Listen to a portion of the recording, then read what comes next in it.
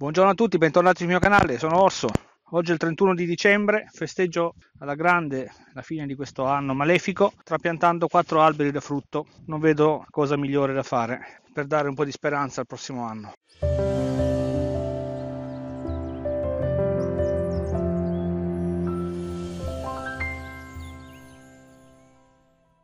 Allora, questo è un albero da frutto a radice nuda, in questo caso è la pera coscia. Radice nuda, se avete visto l'altro video avrete visto la stessa operazione ma con un, un, albero da frutto in vaso. Differenza, pro e contro, entrambi hanno dei pro e contro ovviamente. Quello in vaso lo si può trapiantare in qualunque periodo dell'anno, costa un po' di più, però c'è appunto il vantaggio di poterlo trapiantare anche in primavera e non sotto i rigori del freddo come adesso ci sono 3-4 gradi.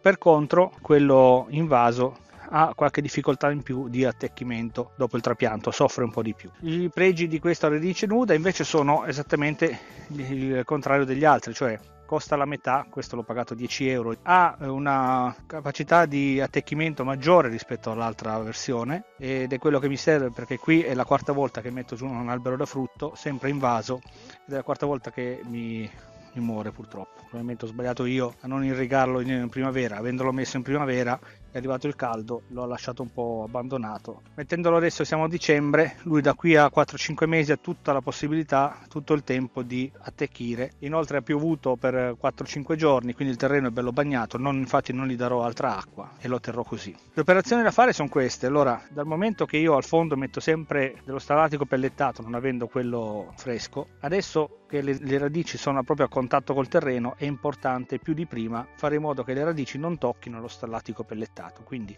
farò uno strato di un paio di chili di stallatico pellettato verranno su 3-4 cm metterò uno strato di 3-4 cm di terra dopodiché adagerò la pianta io ho già preso la misura è importante che il punto di innesto resti fuori dalla terra, dal terreno, non deve andare coperto dal terreno. Quindi ho preso la misura tenendo conto che mi dovrò alzare un attimino, vediamo dove arriviamo. Mi abbasso ancora di 3-4 cm,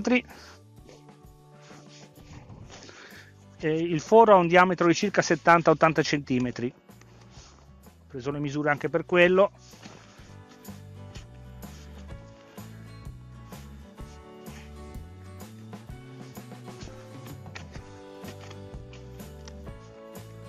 Ok, prima di metterlo a dimora solo due parole. Nell'altro video avete visto l'antica tecnica dell'inzaffardatura. In un secchio metto parti uguali di stallatico pellettato e poi dopo di terriccio una volta che l'ho miscelato.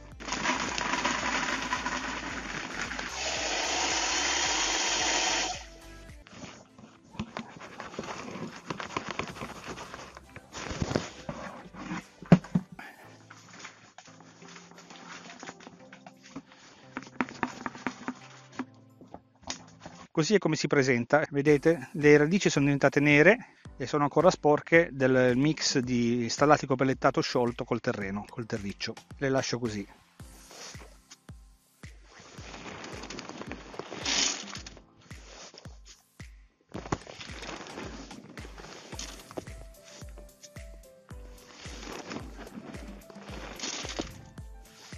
Ecco, con quattro manciate più o meno, dai. Intorno al chilo, chilo e mezzo. Ecco. Ora come vi dicevo è importante coprire, non so se vedete perché è scuro.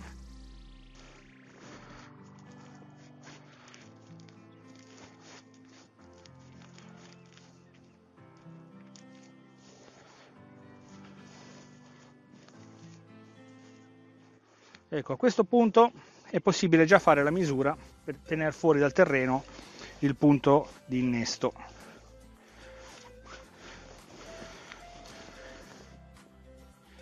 Sì, ci alziamo magari di qualche centimetro. Va bene. Le radici sono tutte dentro le radici non le ho tagliate eh? alcuni ho visto che tagliano quelle più lunghe io onestamente non le ho toccate. Allora il vivaista mi ha detto di lasciarla così com'è e di potarla solo nel momento in cui tira fuori le prime foglioline. Seguirò il suo consiglio lascerò tutto così e poi la aggiusterò strada facendo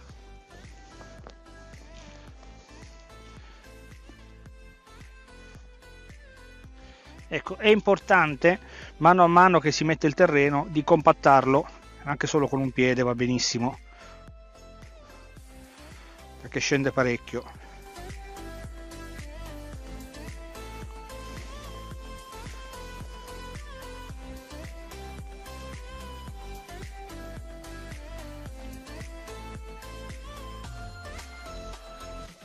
Non so voi, ma a me piantare gli alberi mi fa mi dà molto piacere. Io a questo punto di solito do ancora una manciata intorno di stallatico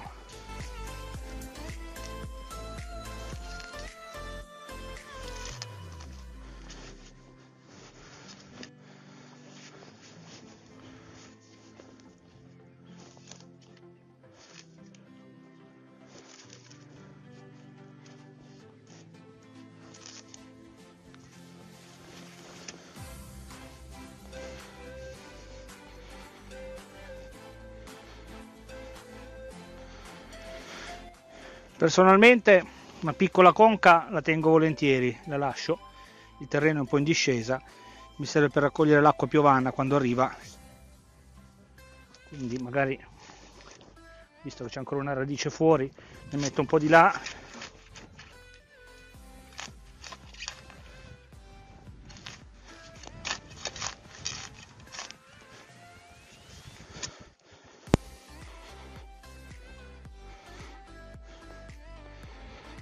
ecco qua.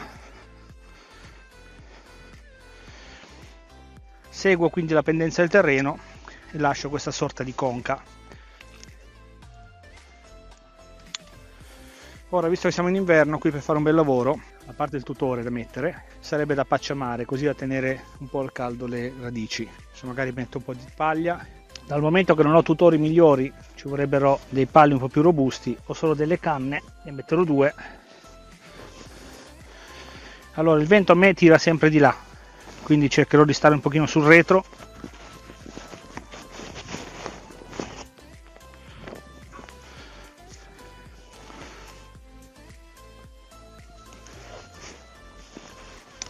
Ecco qua. Adesso lo legherò così. Uso il cavetto quello lì in caucciù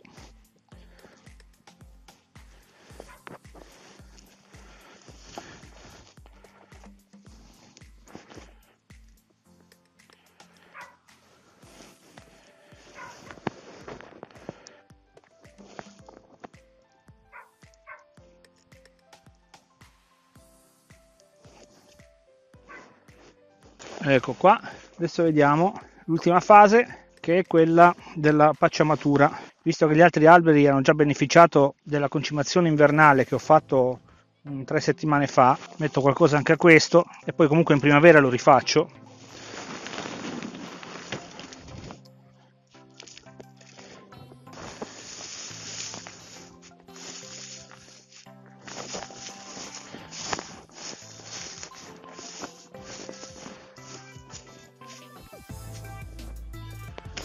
ok allora gli altri alberi da frutto ho già fatto il primo trattamento invernale con la poltiglia bordolese un altro lo farò a gennaio e quindi questo farò il trattamento a gennaio. Come vi dicevo cercherò di non toccare niente volevo togliere soltanto magari i rametti basali ma adesso lo lascerò così non voglio stressarla più di tanto e vediamo subito in primavera se l'inzafardatura funziona perché dovrebbe partire praticamente subito visto che le radici hanno assorbito sostanze organiche in maniera abbastanza concentrata. Bene io vi ringrazio per essere stati con me. Questo video uscirà probabilmente la prima o la seconda settimana di, di gennaio quindi, quindi, vi faccio comunque gli auguri che riceverete in ritardo su questo canale quelli di buon anno. Ne abbiamo bisogno tutti quanti. Cerchiamo di tenere duro e cerchiamo di aiutarci nel limite del possibile anche solo virtualmente scambiandoci consigli pareri, quindi io credo che sia una buona cosa, insomma, cercare di stare vicini il più possibile in questo periodo. Grazie per essere stati con me, vi auguro una buona giornata, ci vediamo giovedì prossimo.